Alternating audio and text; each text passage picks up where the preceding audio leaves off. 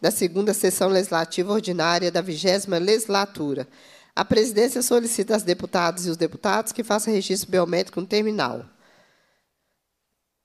A presidência, nos termos do parágrafo 1 do artigo 132 do Regimento Interno, dispensa a leitura da ata da reunião anterior, considera aprovada e solicita sua subscrição.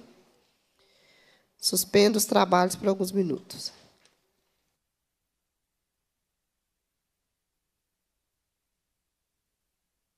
Receber, discutir e votar proposições da comissão. A presidência informa o recebimento de seguinte correspondência.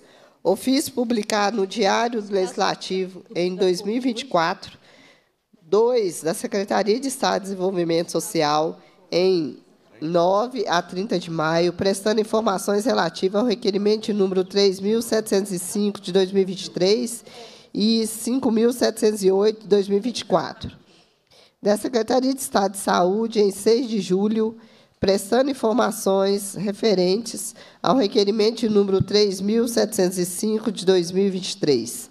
Da Secretaria de Estado de Justiça e Segurança Pública, em 24 de maio, prestando informações relativas ao requerimento de número 3.705 de 2023 da Secretaria de Estado de Meio Ambiente e Desenvolvimento Sustentável, em 4 de maio, prestando informações relativas ao requerimento de número 5.591 de 2024.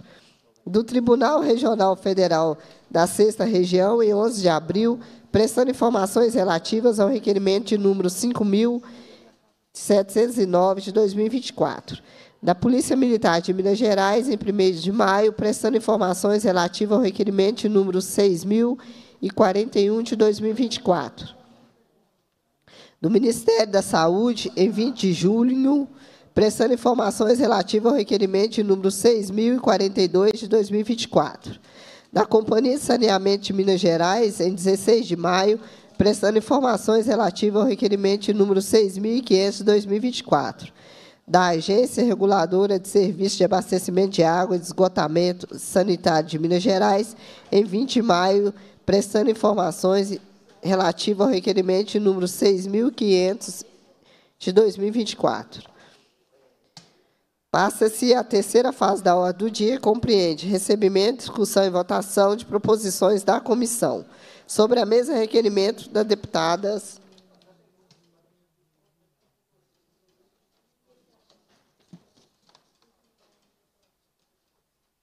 Bela Gonçalves Betão, que seja encaminhado ao Tribunal Superior Eleitoral e ao Grupo de Trabalho de Prevenção e Combate à Violência Política de Gênero e à Procuradoria-Geral Eleitoral e ao Ministério de Justiça e Segurança Pública pedir de providências para o que conforme entre si o entendimento do enquadramento das violências LGBTQIA mais fóbicas para fins de configuração de crime de violência política, bem como tal entendimento seja observado em mais órgãos e respectivas instituições. Requerimento das deputadas Bela Gonçalves e Betão seja encaminhado à Secretaria de Estado de Justiça e Segurança Pública, SEJUSP, à Polícia Militar de Minas Gerais, pedido de providências, e à Polícia Civil e à Polícia Militar, pedir de providências para que to tomem medidas necessárias, como expedição de instruções normativas, formação de agente, entre outros, para que os protocolos de atendimento de registro de eventuais defesa social, REDS, e o procedimento de investigação passe a considerar de forma mais efetiva a tipificação dos crimes de LGBTQIA+, fobia, é, em conformidade com a lei federal. Requerimento da deputada Bela Gonçalves e deputado Betão, que seja encaminhada à Procuradoria Regional Eleitoral e à Procuradoria Regional de Direito Cidadão do Ministério Público Federal, em Minas Gerais, e ao Grupo de Trabalho de Prevenção e Combate à Violência de Gênero da Procuradoria Geral Eleitoral e as, e as, as notas taquigráficas da 13ª reunião extraordinária da Comissão de Direitos Humanos, que tem por finalidade ouvir o prefeito municipal de Alvinópolis sobre a denúncia de graves ameaças à sua vida e outras formas de violência política LGBTQIA+, fóbicas. É, requerimento da deputada Beatriz Cerqueira, que seja encaminhado ao Sigma Lithium Corporation, em São Paulo, pedido de providências para, que, para garantia de direito à assessoria técnica independente no processo de reparação integral às famílias da comunidade Poço Dantas e ao município de Tinga, atingida pela exploração do lítio. Este é o encaminhamento da 14ª eh, reunião extraordinária da Comissão de Meio Ambiente e Desenvolvimento Sustentável. Requerimento deputada, do deputado Eduardo Azevedo.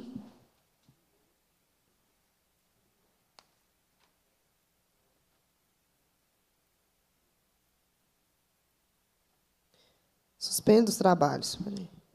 O que, o que é isso aqui? Eduardo Azevedo, que seja encaminhado ao Ministério das Relações Exteriores pedido de providência para realizar com urgência o translado gratuito do corpo de Susan Christian Barbosa Ferreira, que, conforme amplamente noticiado, foi vítima de homicídio em Northfield, no estado de Michigan, Michigan, nos Estados, Estados Unidos da América, prestando apoio aos familiares da vítima residente em Minas Gerais.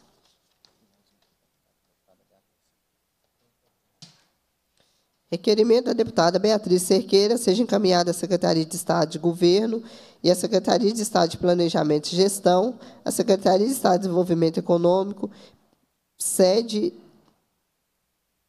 pedido de providências para garantir que nenhum projeto ou programa de governo adote nomenclaturas que invisibilizam a identidade do Vale do Jequitinhonha, tal como ocorre no programa Vale do Lítio, requer ainda que a referido programa leve em consideração as demandas das comunidades locais com canais reais de escuta e diálogo, sobretudo respeito ao direito à consulta prévia livre e informada, e a boa-fé dos povos tradicionais nos termos da Convenção 69 da Organização Internacional do Trabalho. Em votação os requerimentos, as deputadas e deputados que aprovam permaneçam como se encontra. Aprovado. Passa a presidência a deputada Bela para colocar em votação requerimentos de nossa autoria.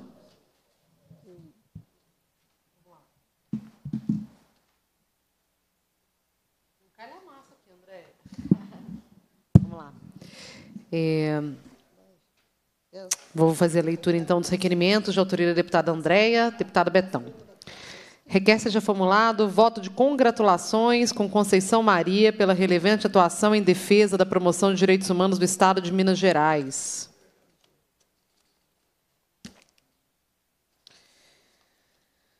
Voto de congratulações com Geralda de Lourdes Rocha Pereira, relevante atuação em defesa da promoção dos direitos humanos do Estado de Minas Gerais.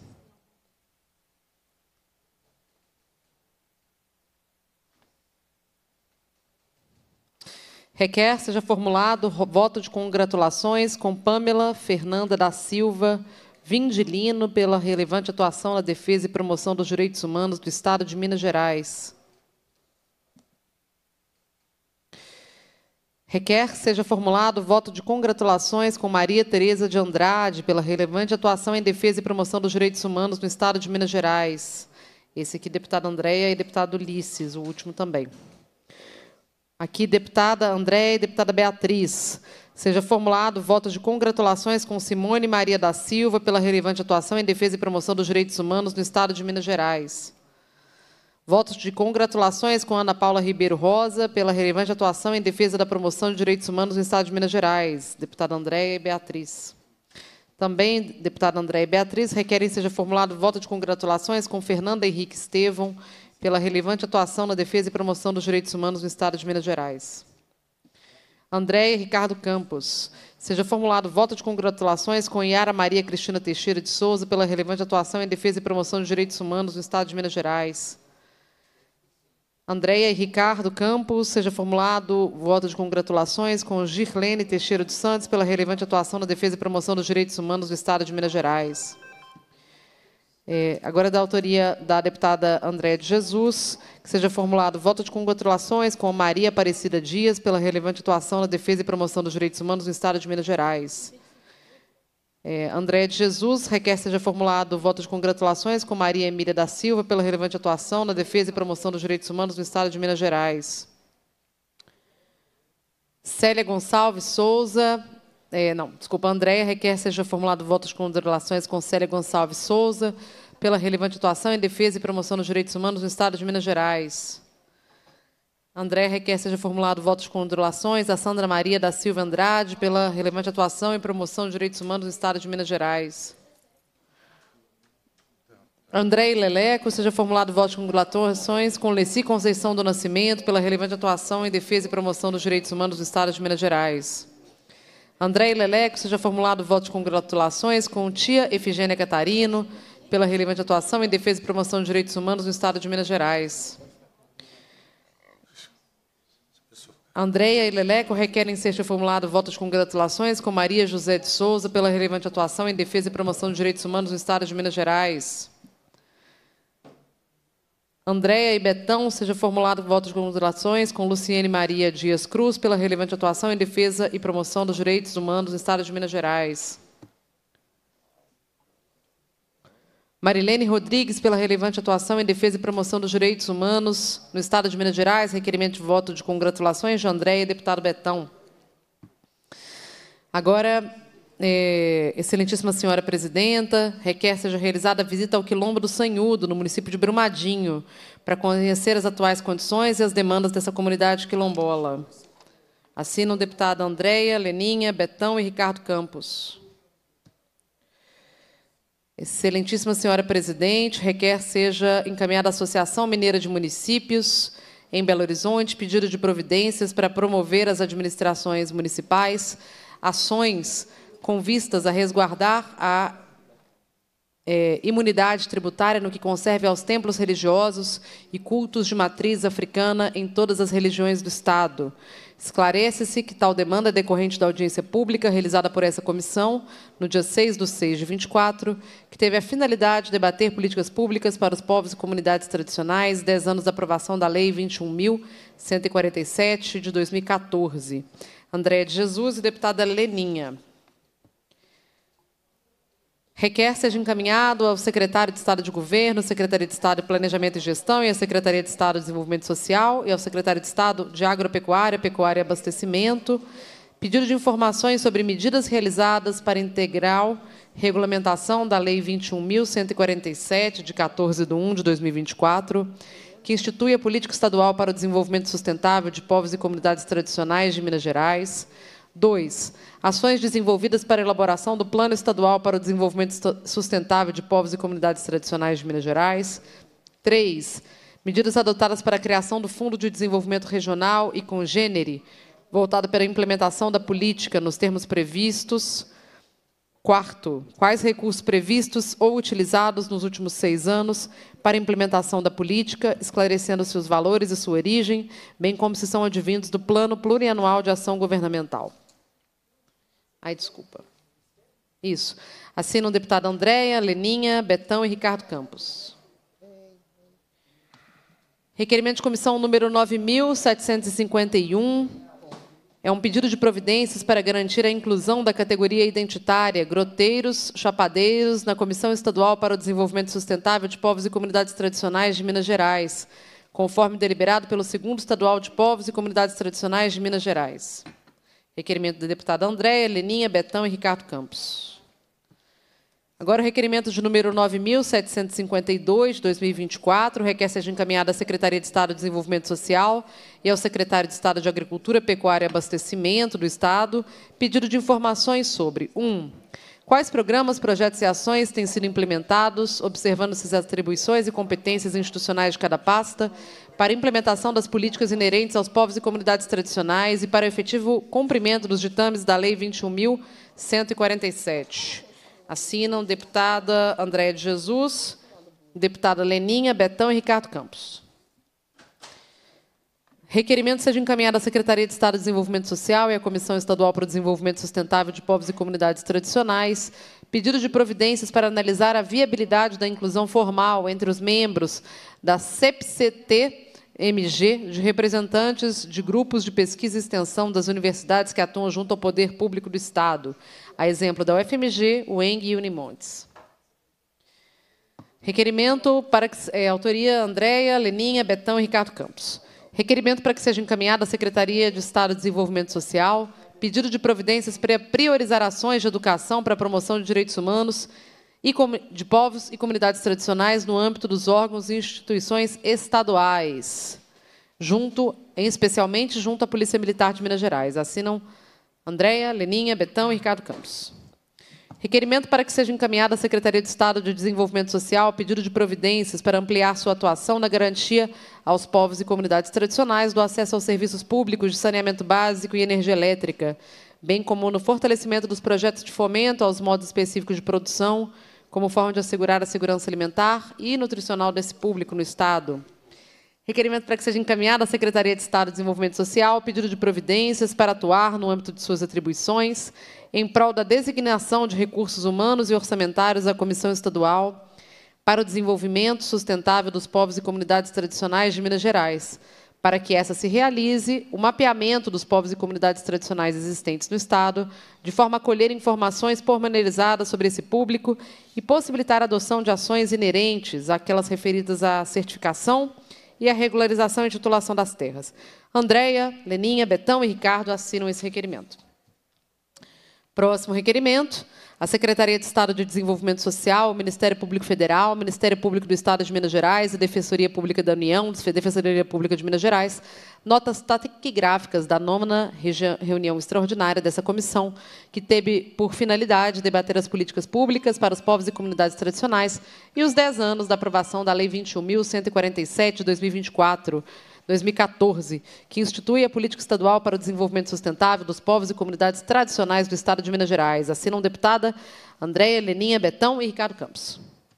Próxima é o requerimento da deputada Andréia de Jesus, que requer seja realizada audiência pública para reconhecer a atuação de mulheres negras na defesa e promoção dos direitos humanos e proceder à entrega dos votos de congratulação. Próxima que seja realizada audiência pública para debater as políticas públicas para a juventude no Estado de Minas Gerais, deputada Andréia de Jesus. Ainda, Andréia, o requerimento de comissão número 9.748, que fala da visita técnica ao Quilombo do Sanhudo, se a senhora não se importar, eu gostaria também de subscrever, porque eles me solicitaram isso e eu venho atuando né, junto ao Quilombo do Sanhudo. Concorda? Então, vamos assinar conjuntamente.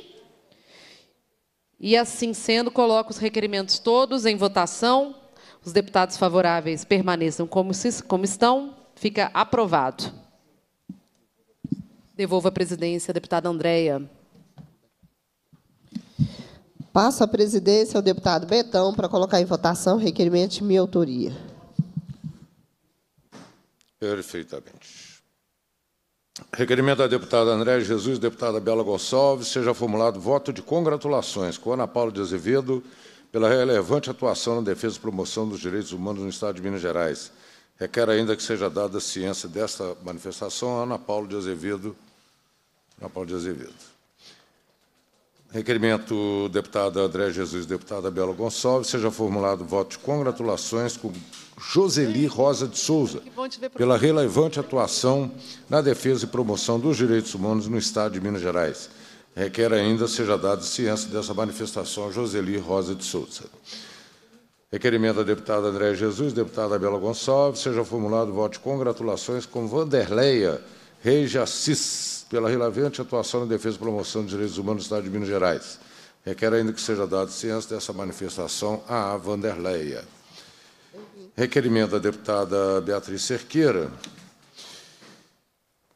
seja encaminhada à Fundação Cultural Palmares, em Brasília, pedido de providência para conferir maior celeridade na conclusão do processo de certificação das 143 comunidades quilombolas localizadas no Vale de Jequitinhonha e Vale do Bucuri, já iniciadas neste órgão, tendo-se em vista as violações de direitos a que estão submetidas no contexto de grandes empreendimentos minerários nessa região. Este é o encaminhamento da 14ª reunião extraordinária da Comissão de Meio Ambiente e Desenvolvimento Sustentável, que teve como finalidade debater os impactos socioambientais decorrentes da pesquisa e da exploração de lítio nos municípios localizados no Médio Jequitinhonha. Ah, os requerimentos estão em votação. Os deputados e deputados que concordam permaneçam como se encontram.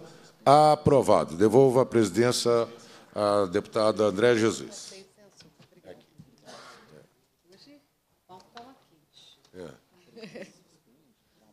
A presidência suspende os trabalhos para abertura da audiência. Audiência pública mesmo? Eu quero sim. Vi os seguintes cidadãos. Primeiro caso, Maria Angélica de Almeida, advogada. Eu queria. Maria está aí? Maria Angélica? Online? Para a oitiva, eu queria combinar com você cinco minutos para explanação e aí depois volta para a mesa para encaminhamento. Mas ela está. Ela está? De forma virtual. Ah, sim. Pode ficar à vontade, Maria Angélica. Boa tarde a todos. Boa tarde. Eu cumprimento a todos na pessoa da deputada Andréia, que nos oportuniza nessa tarde falarmos um pouco aqui da questão do sistema prisional, em atenção a uma resolução recente da Sejusp, em que vedou a entrada de cigarros nas unidades prisionais. É, o que nos preocupa, e por isso gostaríamos de chamar a atenção dessa comissão, é a forma como se dará a implementação dessa resolução, é, uma vez que nada que diz respeito a ambientes fechados é, se aplica com a mesma facilidade a restrição, a pessoas em restrição de liberdade. É, nós temos aqui hoje, na, na cidade de Uberlândia, duas unidades prisionais com uma população encarcerada de aproximadamente 3 mil pessoas. E nossa preocupação seria o reflexo né, sobre o, o impacto da aplicação dessa resolução que prevê, a partir do dia 31 de agosto, a vedação da entrada de cigarros, é, essa abstinência de forma coletiva. Não, se tiver. Como se dará isso e quais os efeitos que podem trazer? Nós sabemos que pessoas em abstinência é, de qualquer tipo de vício, elas têm algumas consequências e isso, no ambiente prisional, as consequências podem se maximizar e trazer episódios até mesmo de violência.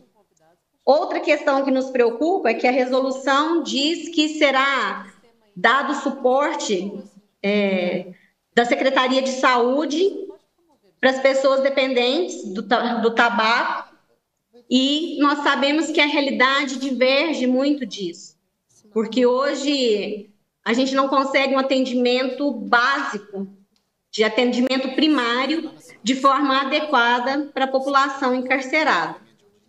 E essa resolução nos pegou de surpresa em, em meio assim, o que causa um pouco de espanto, até uma pressão sindical em razão do movimento denominado estrita legalidade. Porque houve uma tentativa de adesão das famílias e dos encarcerados a esse movimento, para fortalecer esse movimento dos agentes de segurança pública no sistema prisional e posteriormente, até como uma forma de talvez represália, foi feita uma pressão para que houvesse essa aplicação dessa lei de forma é imediata. E é por isso que a gente traz essa pauta para essa comissão, da nossa preocupação realmente como isso dará, como será feito isso e quais os impactos que isso vai trazer no ambiente prisional. A princípio é isso, deputada. Respeito também de que eles moram. Né? Obrigada, Maria Angélica. A outra a outra cidadã que vai falar do mesmo assunto, é isso? A Eliane Carvalho Cardoso? O que é isso aqui? Então, do sistema prisional, só, só essa. Para esse caso aqui, é a Maria Angélica e a Adriana Ribeiro. Para cada caso, são dois participantes. Ah, quem falou agora foi a Maria Isso aqui é a equipe técnica da casa. Adriana Ribeiro. Agora vamos ouvir a senhora Adriana Ribeiro, da Associação de Amigos Familiares de Pessoas Privadas de Liberdade. Ela também está online. Abre o microfone para a gente, Adriana. Boa tarde, deputada Andréia. Boa tarde. Boa tarde a todos. A nossa maior preocupação é relacionada a isso mesmo que nós havíamos dito, igual a Maria Angélica disse, é, o impacto né, da, da, abstinência coletiva num ambiente tão insalubre igual é o presídio. Então, a nossa preocupação maior é, é com essa. E outra, de, devido que ali acaba sendo também, deputada Andréia, o endereço da casa deles, né? Acaba que eles moram ali. Então, como que a gente vai tirar isso de uma vez? Eu acho que deveria ser feito um estudo, acho que deveria ter feito uma pesquisa relacionada a isso e não tirar de forma tão bruta igual está sendo tirado. Certo, obrigada, Adriana. Vou passar agora para os deputados aqui presentes, se quiserem ajudar no encaminhamento. Deputada, deputado Betão, depois deputada Bela Gonçalves. Não, de, deputada Andréia, é, e nossas convidadas aqui, a, a Maria Angélica e a Adriano Ribeiro, que estão, é, se, se, colocam preocupadas com a abstinência coletiva dentro de um, um presídio. Eu imagino que essa situação é realmente uma situação muito explosiva. Né? Eu, que sou dependente da nicotina, sei muito bem o que, que significa isso. Né? É, e acabar, né, proibir a entrada é, repentina né, para essas pessoas. E dentro de um ambiente que, com certeza, né, o, o, fumo ali deve ser alguma coisa que é, se coloca. O isolamento né, acaba levando a pessoa a esse tipo de vício. Né? Então, acho que nós devemos é, identificar né, a origem dessa, dessa lei, parece que tem alguma relação com a audiência pública que foi feita aqui dentro da Assembleia, né, para a gente poder fazer o questionamento e também levantar os problemas né, que as nossas duas convidadas é, apontaram. Né, porque pode realmente levar a uma situação muito explosiva dentro das, das penitenciárias, das cadeias, presidenta. Palavra a deputada Bela Gonçalves. É, deputada Andréia, eu estava esses dias em Montes Claros andando de Uber e aí eu vi essa notícia repentina da proibição sumária, né, assim, intempestiva, da, do uso de cigarro dentro das unidades prisionais, que na prática, como vocês disseram, vai impor toda a população carcerária a uma abstinência coletiva que podem provocar muitos efeitos imediatos na saúde dos detentos. Sabe, não é simples, olha, vou parar de fumar. Parar de fumar a longo prazo, a partir de um processo tratado, a partir de um processo acompanhado, sendo do desejo da pessoa parar de fumar, ela é desejável, Betão. Sim. Mas a interrupção repentina do uso da nicotina, ela pode provocar efeitos adversos à saúde. Além do que, é uma privação de direito individual que não é, que extrapola o de, a privação do direito de liberdade, que é aquilo que é, a lei descreve sobre os, os detentos, né? Então, eu achei essa situação bastante grave. Eu gostaria que a gente formulasse, assessoria, um pedido de informações sobre quais as providências que estão sendo tomadas para gerar uma preparação junto à população carcerária é, dessa medida, que já vai ser implementada há menos de um mês, né? daqui a menos de um mês, se serão disponibilizados é, medicamentos, acompanhamento psicológico, acompanhamento médico para esses detentos, e caso contrário, né, o que, que o Estado pretende fazer em casos de é, do, das pessoas apresentarem sintomas adversos da abstinência. E eu também proponho, gente, que façamos um projeto de resolução para assustar os efeitos desse decreto.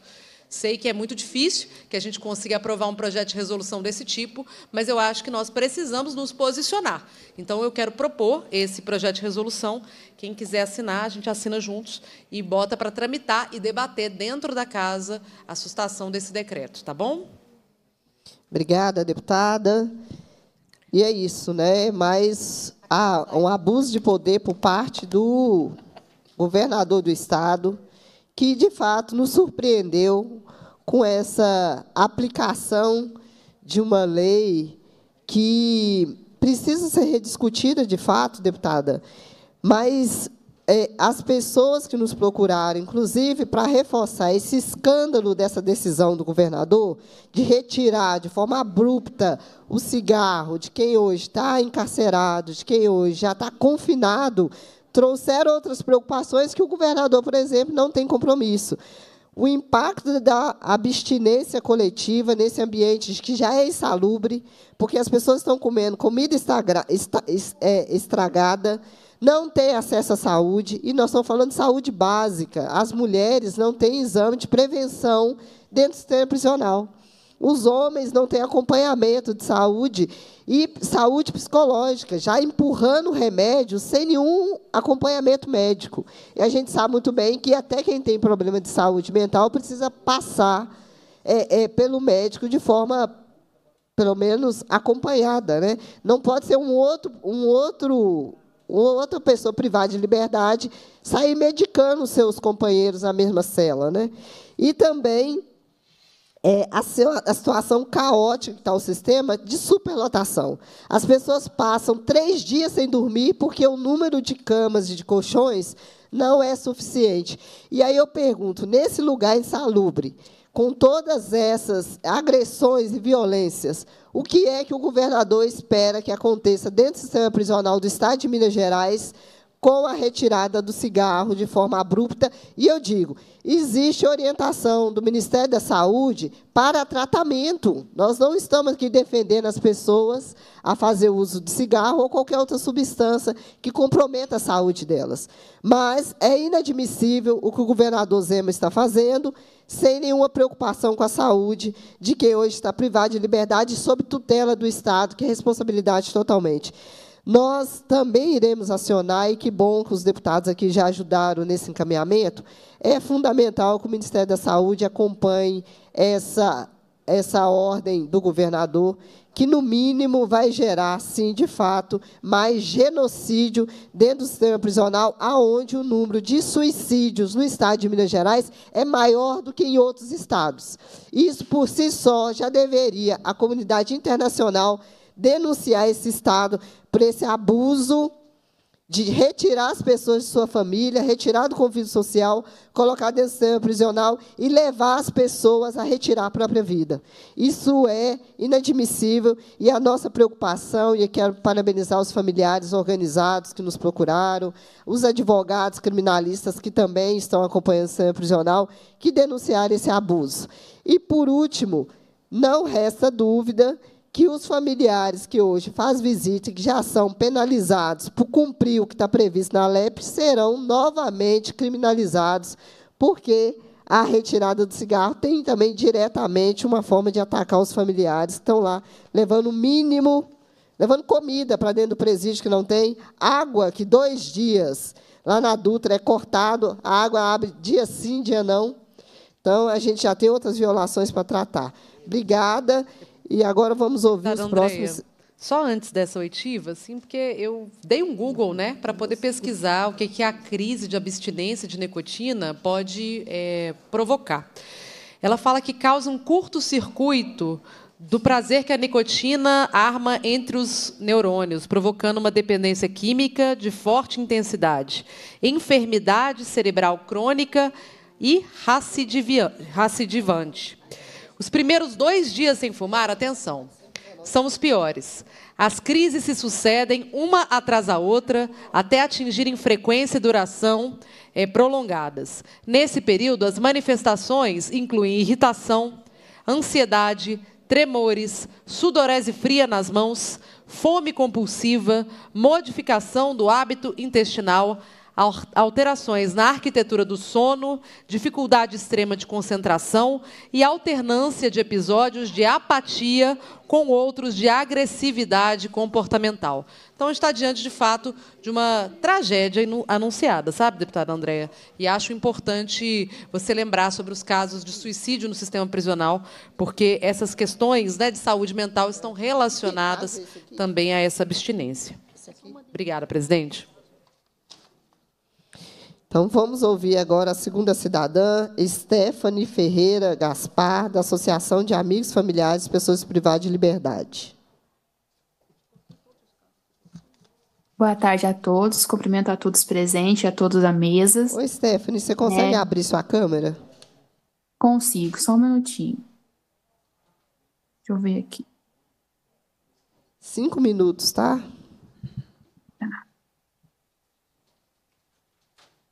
Não quer abrir?